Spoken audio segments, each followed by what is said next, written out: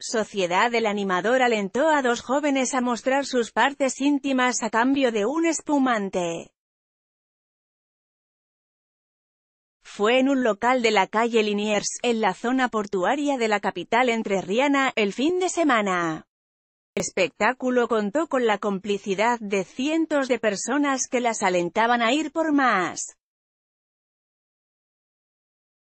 Yo sé que vos vas a ganar uno, dos y tres y mostrás una teta, dijo el conductor del show. Mira más, una explosión destruyó un cajero automático en un banco del centro. El presentador, identificado como Facundo, intentó justificarse y lanzó un insólito descargo en sus redes sociales. A todos los que están subiendo cosas y escrachando a la pobre piba, ¿por qué no se ponen a hacer algo más prudente?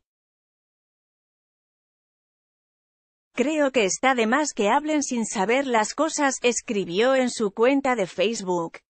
El caso desató un verdadero escándalo. Según fuentes judiciales, las chicas serían menores de edad. Mientras la investigación avanza, las autoridades analizan las sanciones que le caben al dueño del local. Video